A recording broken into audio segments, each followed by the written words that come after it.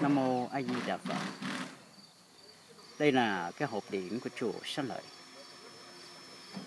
Những cổng dây điện thật là to.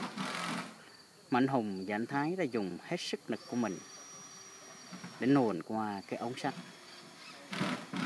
Sau một tiếng đồng hồ, họ đã làm xong. Và cái cổng dây điện này thật là lớn. nó đến mức họ phải dùng cưa để mới có thể cưa được cổng dây điện này nhưng với sự khéo léo của anh Hùng và anh Thái. Hai anh em của họ đang chuẩn bị đưa những cổng dây điện thật lớn này vô trong ổ điện.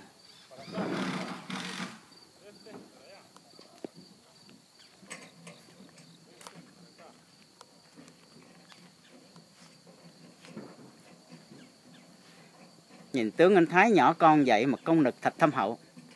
Bẻ qua kéo lại lấy xà beng đẩy đẩy một hồi mà những cộng dây điện vô hết được trong ống. Anh thấy đâu rồi? Thầy không thấy mạch nha. Ồ oh, rồi đập chai đập chai.